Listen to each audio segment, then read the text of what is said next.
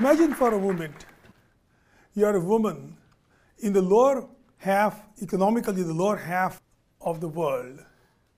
You carry wood on your head, 20 to 40 pounds every day, collecting it from harsh conditions. And then you cook for many hours every day, uh, inhaling smoke worth several packs of cigarettes. And repeat day after day for the rest of your life. Now imagine something worse. In September 2004, I got a phone call from an officer of USAID who said, Many women are being raped in Darfur as they leave the safety of their camps. Can you do something about it? I knew that 400,000 men had been killed in the extreme violence in Darfur, and 3 million people had been living in ragtag camps. What I did not know was another agony unfolding that of systematic rape by the militia of these women as they had to leave the, go out to collect firewood.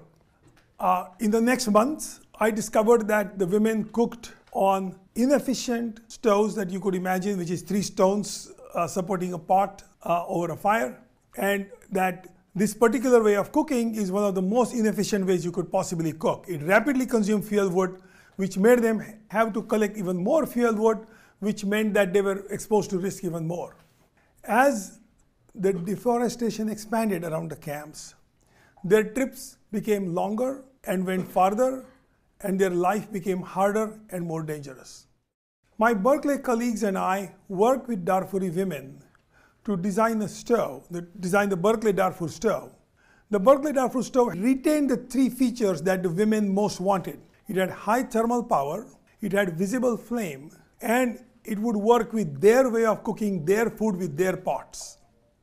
But it also was fuel efficient, it was low cost, it lasted a long time, and it could be locally built.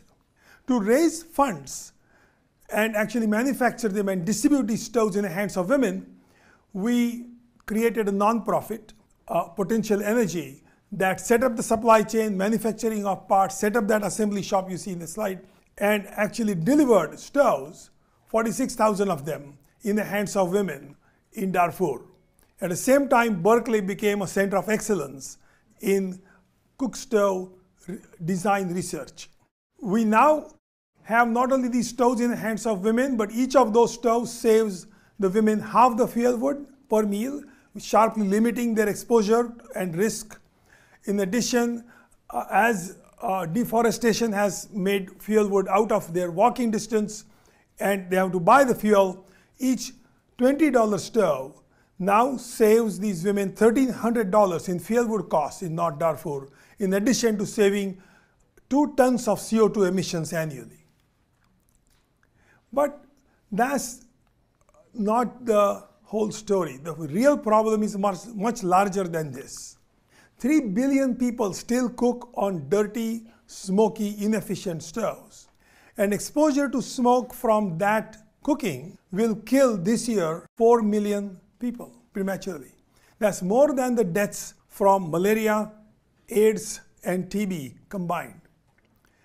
So we know that fuel efficient stoves uh, reduce women's hardship reduce their smoke exposure, and reduce the pressure on the environment. So, what's the catch?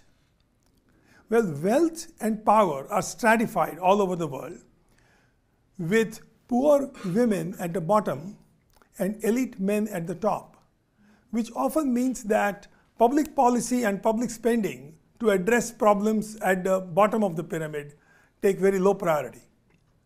Gender also plays a role. Women's hard work in collecting fuel wood and damage to their health from smoke is often devalued.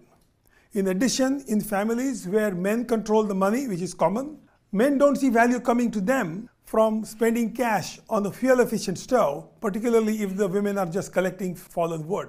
Nevertheless, progress is possible. Meet Logman Arja, an architecture student currently in Berkeley. He grew up around one of our Berkeley Darfur stoves. His mother used to cook on that stove in Darfur. So there are many things we can do actually to create an immediate, long-lasting impact. Leveraging Berkeley's strength and depth in stoves research, we can empower policymakers as well as stove designers to make stoves that their people need. And we can support hardworking nonprofits like Potential Energy to deliver fuel efficient, good, well designed stoves to the flood of refugees, such as in Uganda, and to really poor rural population, such as in rural India. So today, there is something we can do and work together to make for a better world. Thank you.